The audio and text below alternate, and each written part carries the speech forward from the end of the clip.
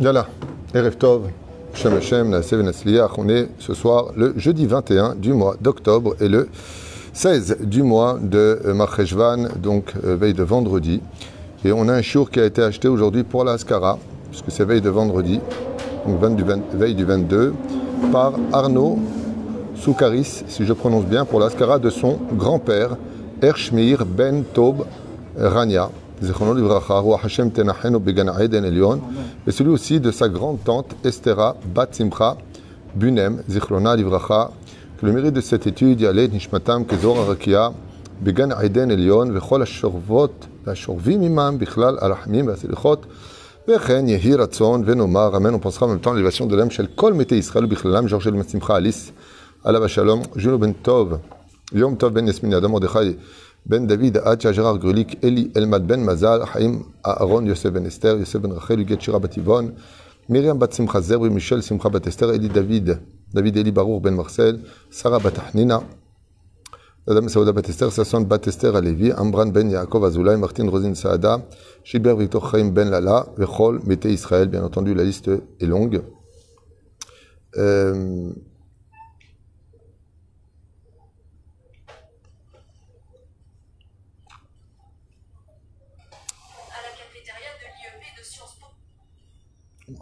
Écoutez, les informations à la synagogue, c'est pas un pied sur l'autre, il te manque plus que le cigare et le café.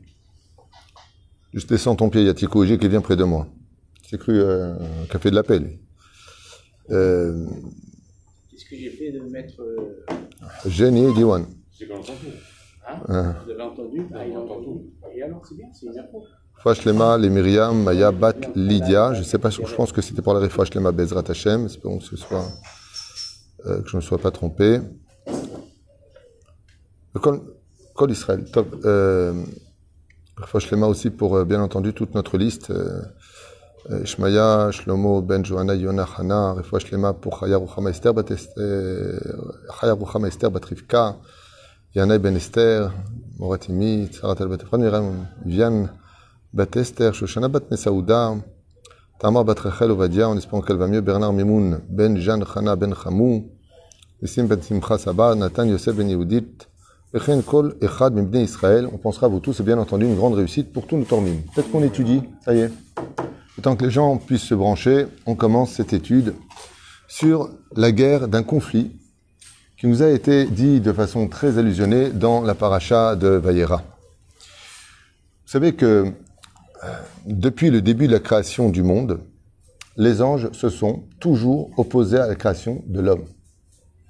Les anges n'ont jamais été d'accord avec l'idée de créer l'homme tel que Akadosh Baruch l'a conçu avec son libre arbitre, car les anges, n'ayant pas de Yetzerara dans leur cœur, ne comprennent pas, vu qu'ils vivent la Shekhinah, pas ils savent qu'elle existe, ils ne savent pas que Dieu existe, ils vivent Dieu, ils ne comprennent pas les anges qu'un homme puisse fauter. Comment tu peux fauter devant Hachem? Comment c'est possible? Comment est-ce qu'un homme peut désobéir à Hachem, de d'entendre des choses interdites, de dire des choses interdites, de voir des choses interdites, de parler de choses interdites, de ne pas étudier la Torah toute la journée? Pour les anges, c'est quelque chose d'inadmissible.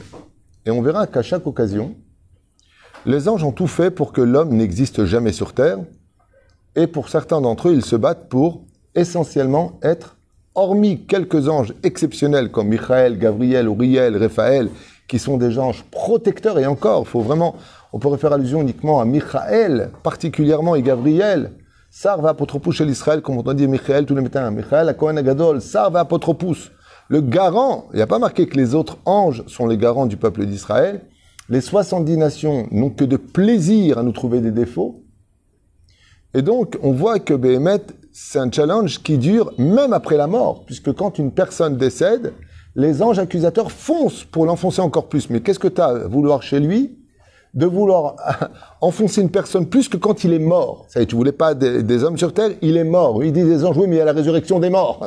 Donc on ne veut pas qu'il revienne, l'homme. On veut pas de lui. Alors Akadosh Baruchou, il leur a donné une leçon en leur disant euh, Oui, mais pourquoi vous voulez pas des hommes? Il dit Parce qu'ils vont te désobéir. Il dit C'est normal qu'ils me désobéissent, puisque je leur ai donné un libre arbitre et je les ai aveuglés des réalités spirituelles qui les entourent. Et donc, si vous, les, les anges, vous descendiez sur terre, eh bien, vous verrez que dans les mêmes conditions de l'homme, vous fauteriez.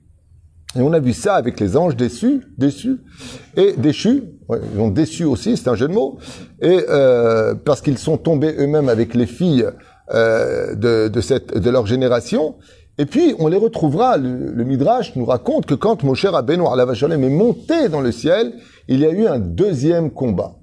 Et ce deuxième combat, c'était euh, la Torah. Venir chercher la Torah, tout le monde, tout le monde était content. Les anges se sont opposés au don de la Torah pour les humains, en disant, pourquoi tu donnes cette Torah au point de vouloir brûler Moshe par Hevel PM, par la laine qui sortait, le vent, le souffle qui sortait de la bouche des anges, qui est un souffle de feu. Ils ont voulu brûler, bon ça c'est des images aussi à un certain degré, c'est très métaphorique, mais ils ont voulu, même s'il y a le pshat qui reste le pshat, faut pas l'oublier, ils ont voulu tuer Moshe. Mais Moshe Rabbeinu la Shalom, c'est Moshe Rabbeinu, c'est le Rav de tous les Rabbanim. Azma, Azé, de dire que euh, Moshe Rabbeinu alav shalom, il a été celui qui va chercher cette Torah-là. Alors qu'il n'a pas fauté, c'est un tzaddik de l'âme. C'est un homme qui était prince d'Égypte et qui avait de l'empathie pour ses frères, qui ne mangeaient pas parce que ses frères ne mangeaient pas, qui pleurait parce que ses frères pleuraient, qui avait mal parce que ses frères avaient mal, qui ne dormait pas parce que ses frères ne dormaient pas. Eh bien, la seule chose qu'ils ont eu à dire, les anges, c'est oui, mais même ma ben mais Moshe, il vient d'un interdit de la Torah, il sent mauvais à cause de ça, vient Moshe, il vient, comme Yocheved avait divorcé de Amram, que Amram s'était marié entre-temps avec une autre femme, qu'il, pardon, que Yocheved s'était marié avec un autre homme, elle est tombée enceinte de cet homme, elle a eu deux jumeaux qui s'appellent Eldad et Medad, ensuite elle a pris le guet, comme explique le Seferim Rechen, de son deuxième mari pour épouser son premier mari. Et donc là, les anges, ils disent, oh, oh, oh, al alacha, comme c'est marqué Midoraita, une femme qui a divorcé de son mari, qui s'est mariée, pas elle est partie avec quelqu'un d'autre, si elle s'est mariée avec quelqu'un d'autre et qu'elle divorce de lui, ne pourra plus jamais revenir avec son mari précédent. Donc, le premier mari, elle lui était interdite. Elle est revenue avec Moshe, elle est tombée enceinte d'un enfant qui s'appelle Moshe Rabbeinu. Les anges, ont dit, Ben Ayelod, quel est ce fils de naissance? Pourquoi tu lui dis euh, cet homme Pourquoi il dit le fils de cette naissance? Parce qu'ils ont dit, mais comment tu peux donner la Torah à un homme qui lui-même, il n'est pas saoul, qui vient il vient d'un interdit. Kadosh Baruch il a dit à Moshe, vous connaissez tous ce midrash qu'on répète et qu'on répète, mais on va essayer d'approfondir ce sujet avec la parasha de Vera, vous allez voir, le combat il est très sympathique. C'est que Moshe a répondu, bah, comme lui dit Hachem, Arzek Bekissi Hachem la Teshuva, attrape mon trône et donne-leur une réponse. Il dit, mais c'est avant le don de la Torah. Et avant le don de la Torah, on était assujetti qu'à cette loi noachide, et ça, ça n'en fait pas partie. Donc, je suis légitime parmi vous. Super. Mais Moshe Rabbeinu va continuer et rappeler la paracha de Vayera. Et qu'est-ce qu'il va dire? Il va dire, mais vous les anges, vous êtes bien comiques, en train de dire que l'homme est l'homme et l'homme et l'homme et l'homme, et c'est vrai que la halakha, vous savez qu'entre Hillel et Shamaï, la question a, été posée, est-ce qu'il était bon d'avoir créé l'homme? Et là, vous allez être surpris, c'est que Hillel et Shamaï sont d'accord pour une fois. C'est un des accords exceptionnels. Euh, ils vont dire, il aurait vraiment préféré que l'homme ne soit pas créé. Mais maintenant qu'il est créé, au moins il est juif. Ça veut dire qu'au moins, maintenant qu'il est créé l'homme, étant donné que de désobéir une seule fois à Dieu pour le monde des... Et vous le verrez tous à 120 ans, ce que je vous dis, vous pouvez l'imaginer, vous pouvez l'assimiler, mais vous ne pouvez pas le vivre. Ça ne se vit qu'après la mort. Quand on quitte son corps et qu'on se retrouve devant Dieu, je peux vous dire un truc, à ce moment-là, on, s'en veut, mais comment j'ai pu désobéir soi-même? On se le dit, on n'attend pas on n'attend pas, c'est-à-dire qu'on on, cherche même pas des arguments devant Dieu. On a honte, on a honte, mince, mince, mince. Comment, comment, comment j'ai pu ne pas être sanois? Comment j'ai pas, comment, comment, comment j'ai pu annuler la Torah? Comment j'ai pu empêcher la Torah d'exister? Comment j'ai pas dit le Kaddish? Comment j'ai pas été pris en minyan? Comment j'ai pas mangé cachère Toutes, mais on, a honte. Parce qu'on ne sait pas qui on a affaire, on se rend pas compte d'où on vient, on se rend pas compte de qui on est, on se rend pas compte des pièges, alors que tout nous a été déjà préposé devant nous. Et on joue les aveugles à l'image du petit chaperon rouge qui demande au loup pourquoi tu as de grandes dents? Et le loup il dit je vais te bouffer. Parce que je suis un loup et dis mais mes grand-mères. arrête de m'appeler grand-mère, tu m'as fatigué. Donc on sait que le Yetzerara est très fort, mais malgré tout on joue avec un petit peu comme des enfants, disant que bon, allez, c'est pas grave, tu vois pas. Mais les anges, eux, ils sont pas dans les blagues. Vous avez déjà vu un ange qui blague? Moi, je n'ai pas vu beaucoup. Hein, les, âges, les, anges, Ils ont, ils n'ont pas d'âge, ils n'ont pas d'Yetzerara, ils sont transparents dans l'unité qu'ils ont pour leur créateur, ils se battent tous en l'honneur de Dieu. Ça veut dire que même les anges accusateurs, quand dans le ciel ils accusent une personne, c'est parce qu'ils sont aussi froissés que cette personne ait bafoué l'honneur d'Akadosh Baruch. C'est. Mais mon cher Rabbeinu va leur répondre et leur dire, euh, Babouche, Dorali, Para, Shama, Makara, avez-vous quand vous êtes descendu, quand vous êtes descendu pour voir Abraham Avinu ala Shalom, Dieu vous a donné des figurines d'humains. Dieu vous a mis dans des corps humains. Ouais. Et vous êtes descendu et vous n'avez pas hésité à mélanger le lait et la viande, qui est un roc de la Torah. Ça se discute, je vous dis franchement, dans l'absolu. Parce qu'il n'y a pas marqué qu'ils ont mélangé le lait et la viande. Il a marqué prenez du khéma et prenez après de la viande. Donc si tu manges du lait avant de la viande, il n'y a pas de problème. Deuxièmement, les chachamim s'accordent tous à dire qu'ils n'ont pas du tout mangé. Mais ils n'ont pas voulu froisser Avram Avinu, qui voulait faire cette mitzvah-là. Et malgré tout, au niveau du pshat, mon cher Rabbeinu, dans le Midrash, va utiliser cet argument. Et d'autres arguments. Si vous étiez, vous, si important que cela, dit le Benishra, et Dieu vous aurait pas déguisé en clown, en humain, à niveau des anges, pour, euh, plaire, à, pour plaire à l'homme, qui est Abraham Avinu. Donc l'homme montre à sa supériorité par rapport aux anges, que c'est les anges qui sont obligés de se déguiser pour plaire à un homme. Machmamikan, que les anges aussi se doivent de servir l'homme. Alors, ici, on pose toujours la même question. Pourquoi les anges se sont-ils battus? Et en réalité, ce que vous allez découvrir maintenant, c'est une étude très, très, très intéressante. Pour ceux qui, lui, veut étudier la Torah et apprendre des beaux chidushim, Kedai d'écouter Shio, qu'en réalité, depuis le début des temps, les anges se sont toujours arrangés pour gagner la légitimité d'avoir le monde d'en bas. Car les anges sont Kanaïm, comme vous avez vu, Pinchas, c'est un humain, il est venu Eliaou Anavi On a vu que Chanoch était humain, il avait tellement d'honneur pour Dieu que Dieu l'a rendu un ange. dès qu'un homme devient extrêmement virulent sur l'honneur d'Hachem, bizarrement dans l'histoire, Dieu en fait un ange. Très bizarre. Chazal ombrim Tarsis shel amalachim. Les anges, depuis le début, donc comme vous l'avez compris, se sont toujours opposés réellement à l'existence de l'homme. Et c'est pour ça qu'ils n'hésitent pas à descendre comme André Lamoussia qui descend et qui tue toute la terre avec le déluge. Comme Gabriel qui descend et qui détruit tous les habitants de Sodome et Gomorre sans aucun problème de conscience. Les anges n'ont pas de conscience à l'extermination de l'homme. C'est bizarre. Pourquoi? Parce qu'ils sont froissés de voir les humains bafouer l'honneur du roi des rois. Les anges sont, sont comment dire, les, gardes du corps de l'honneur du roi des rois, d'une certaine façon. Et là, c'est super intéressant ce qu'on va voir ensemble sur la parasha de Vaïra. Parce qu'on va voir que quand Akadosh Baruch Hu va donner aux anges l'ordre de descendre pour aller soigner Avram Avinu, pour aller sauver Lot, pour annoncer la survie, la, naissance de Yitzhak et détruire Sodome et Gomorre, voilà ce que nous livrent les Chachamim. Écoutez bien, très sympathique. Tarsi Shel Amalachim, Torah, Tishaer Beyadam. Donc les, les anges ont voulu absolument que la Torah reste toujours dans les mains des anges. Car celui qui tient la Torah dans ce monde tient la nature a ses ordres. Celui qui a de la Torah, les médecins vont dire c'est fini, te reste un mois. Vient le Rabbi Lubavitch Baba Saleh, le Rabbi dire un Gdol adore. Il lui dit tu mourras quand moi je te dirai quand tu mourras. Comme a dit Rabbi Shimon Barucha Rabbi Yosef, tu mourras le jour où moi je mourrai. Comme il est venu voir quelqu'un Baba Saleh, pareil. Il lui a dit tu mourras le jour où je mourrai. Il est mort 20 ans plus tard alors que les médecins lui ont donné même pas 6 mois. Il avait le cancer du foie, il était de, de l'estomac, il était foutu, la totale. Et il lui disait, bois tous les jours un verre d'arak. Il lui dit, mais je vais mourir avec. Et il lui a dit, tu mourras pas. Tu n'auras même pas mal. Ça dit gozer Hashem Mais qu'est-ce qui donne ça? Le point commun de tous ces tzadikim, c'est la Torah. Mais les anges se sont toujours opposés à ce que les humains reçoivent la Torah, parce que tant qu'ils ne la reçoivent pas et qu'ils fautent, bon, ben, quelque part, ils ont pas reçu le mode d'emploi de comment respecter Dieu. Mais quand tu reçois la Torah, qui est le mode d'emploi de comment honorer, respecter et comprendre les messages divins, ben, t'as plus, plus beaucoup d'excuses quelque part. Parce que tu lis le mode d'emploi et t'as qu'à monter ta vie telle que la Torah te le demande. Et fi alacha. la Koach et Hadir. Il y, a deux, il y a deux choses, il y a exactement trois choses dans ce monde pour lesquelles la terre peut appartenir à l'homme. La Torah Goufa, l'étude de la Torah. Donc, vous avez bien compris, quand on étudie la Torah, quand on la met en pratique, et ainsi de suite.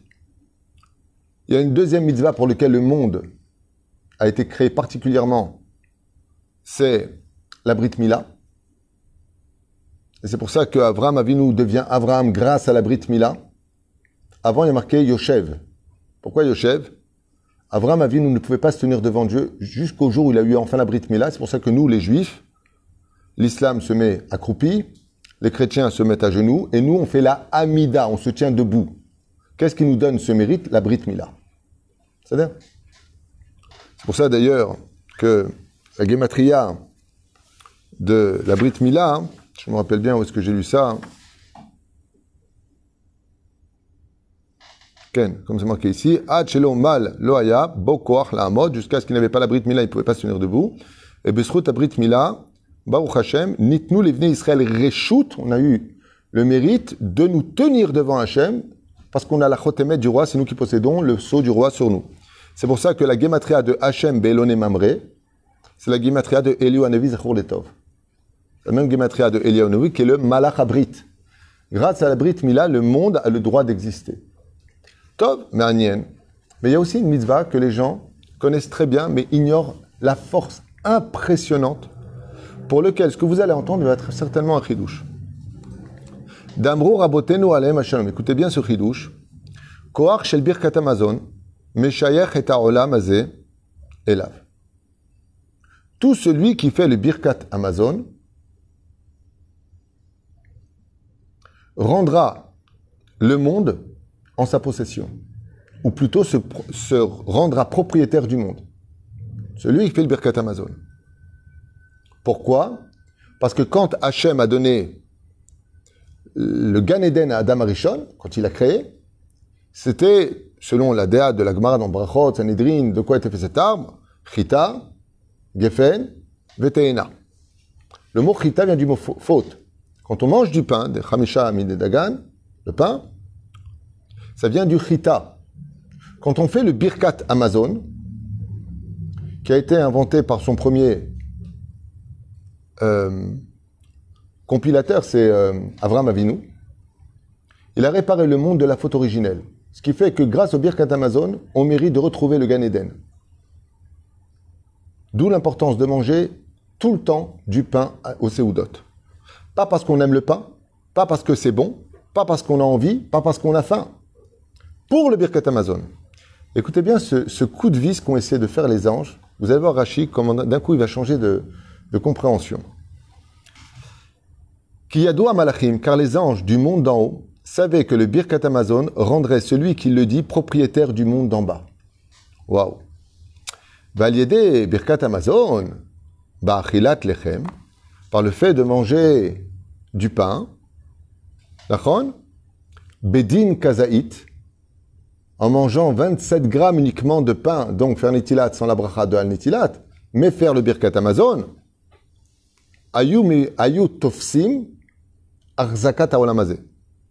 Qu'est-ce qu'ils voulaient les anges? C'est vrai qu'ils sont venus faire leur mission, mais ils ont dit entre eux, c'est l'occasion pour nous de nous rendre propriétaires des lieux, car quand viendra plus tard Moshe nous récupérer la Torah, on aura un argument à lui dire qui va être, quand nous sommes venus chez Avram Avinu, on a fait le Birkat Amazon.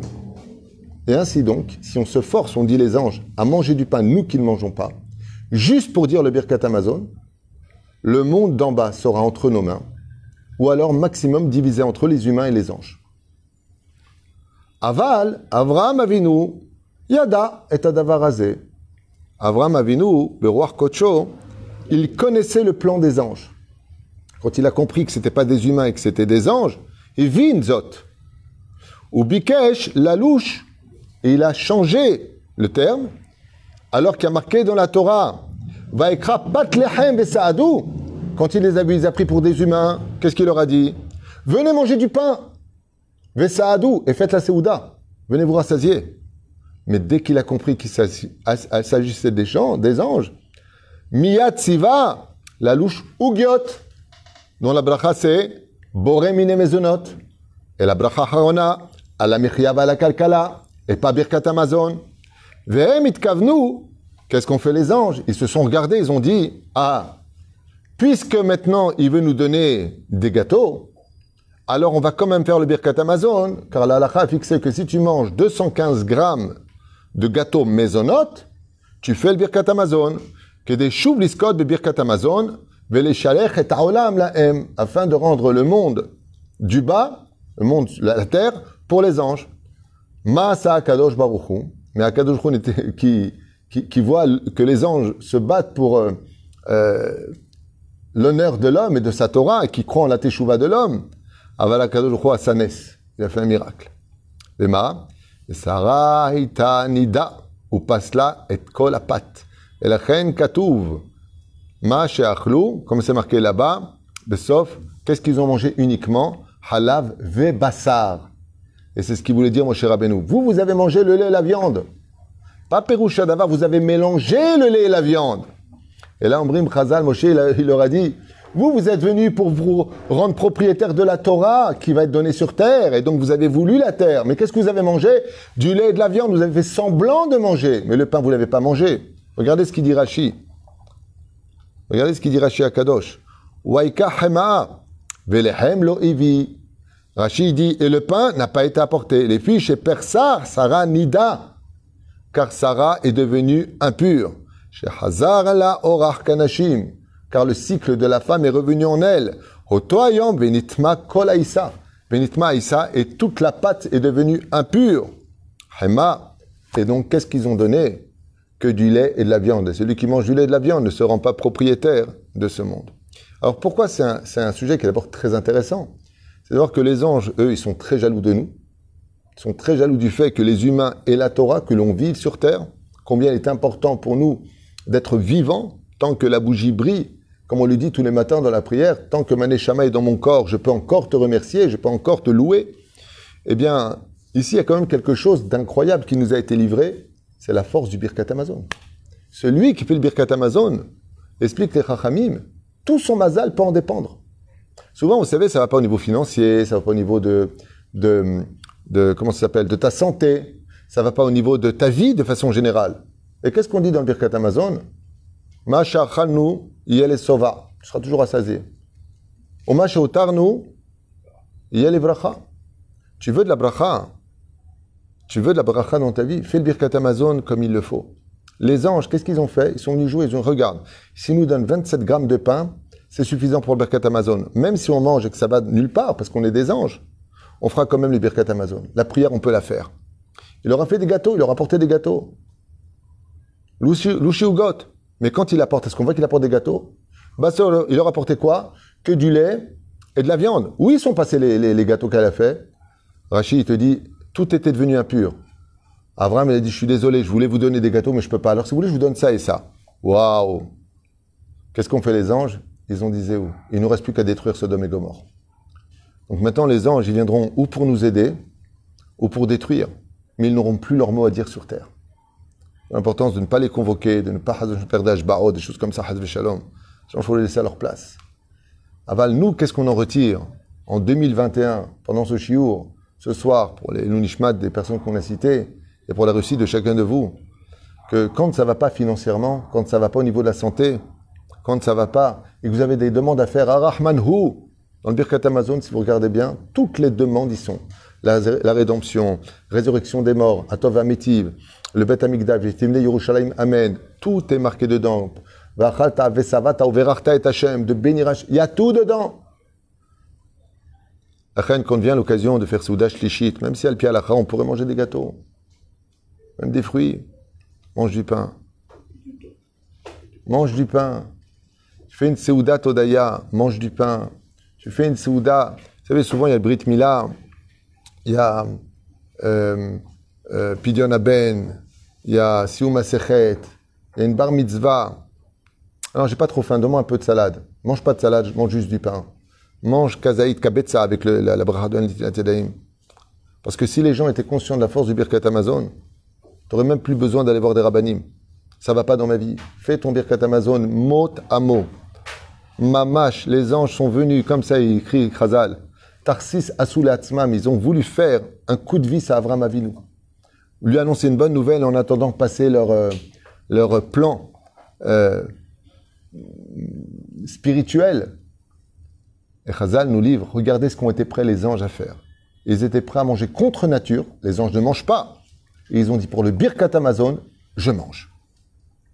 Comme une fois, comme j'avais raconté il y a longtemps de cela, la femme du Gaon de Vilna, à Shalom, n'avait pas fait Souda Revit. Le Rav Ovadia Yosef, il est possible que Souda Revit, c'est obligatoire avec du pain. Dans son livre, le, Rav Meir Eliaou, Argaman, j'ai oublié son nom, comment il s'appelle, lui dit que c'est pas obligé. Il ramène là-bas plusieurs euh. Et si on émite Rakez réellement, la femme du Gandumina lui a dit Je peux pas manger ce soir, j'ai mal au ventre, je suis pas bien du tout. Il lui a dit C'est parce que tu n'as pas fait Souda vite que tu as mal au ventre. Mange et tu seras guéri. Et Bidjouk et Meïda, quand tu manges à Souda vite avec du pain, c'est pas ça qui va te guérir. C'est le Birkat Amazon d'avoir mangé du pain qui va te guérir. Et c'est toute la différence. Celui qui va au restaurant, celui qui va à une Souda et qui mange pas le pain parce qu'il n'a pas envie de faire le Birkat Amazon, c'est qu'il mange pour lui. Il n'a pas envie, ça le saoule. Il n'a pas envie, il n'a pas le temps. Il n'a pas envie parce que, bon, fénétilate, donc tu manges pour toi. Mais quand tu manges du pain pour faire le Birkat Amazon, tu manges pour Hachem. Et toutes les brachot, on veut tous des brachot. Je vous donne un exemple. Si vous voyez le rabbi passer, Rabbi Nachman, il passe. C'est-à-dire, le Rav Obadia, maintenant, il passe devant. Le Rav Shteyman, Kadosh, il passe. Qui ne se lèvera pas pour prendre une bracha de lui? Qui ne sera pas comme un fou d'avoir pris une bracha? Et le rabbi lui dit, Bracha v'atzlacha dans tout ce que tu fais. Qui n'irait pas? Il n'y a pas besoin de vous fatiguer, vous avez le Birkat Amazon chaque jour. Mais pas le Birkat Amazon, comme je vois des fois quand je suis à, droite ou à gauche. Le mec il regarde à droite, à gauche, il regarde sur son portable, il répond même pendant qu'il fait le Birkat Amazon. Des fois il se lève, des fois. Non. Non, Birkat Amazon, be simcha ou beira. Dans la joie et dans la crainte. Mot à mot. Tu as pris une bracha, non pas d'un tzaddik, mais de Dieu lui-même. Vezot asrut chez vinu amalachim. Et ça, c'est le mérite des, malachim qui ont expliqué que par le mérite du Birkat Amazon, Bichlal, tu peux même être propriétaire du monde. Ça veut dire tout ce que tu vas faire, tu peux le réussir. Tu as une, une propriété, tu as un droit de propriété sur le, sur, le, sur le monde dans lequel tu vis par le mérite du Birkat Amazon. Tout comme les scientifiques s'accordent tous à dire que si le monde vit et respire aujourd'hui, c'est grâce à l'Amazone, parce qu'elles sont les poumons de la terre, grâce aux plantes qui aspirent et expirent, qui purifient l'air. De la même façon, ce qui, ce qui représente la misva des poumons de toute notre Torah, Davka, c'est le Birkat Amazon. Les poumons de notre Torah, c'est le Birkat Amazon. Alors qu'on manque pas Bezrat Hashem, et qu'on purifie nos mochines, avec le mérite de faire nos seudot, avec du pain, mieux vaut manger moins de salade, moins de poisson, moins de viande, et de manger la quantité de pain pour avoir le mérite de dire ce Birkat Amazon qui nous donne le droit à l'existence, puisque les anges eux-mêmes ont tout fait pour y arriver, alors que c'était contre nature. Les anges ne peuvent pas manger. Pas, pas que du pain, ils peuvent rien manger. Et pourtant, ils étaient prêts à manger pour cette mitzvah-là. Juste pour nous dire, hé, hé, les anges, qu'est-ce qu'ils sont bêtes les humains, les juifs, qu'est-ce qu'ils font? Nous, qu'on ne peut pas manger, on était prêt à manger juste pour avoir le srout de dire au moins une fois dans le Birkat Amazon comme il le faut. Et vous qui pouvez manger, et c'est votre tikkun de manger, vous ne le faites pas.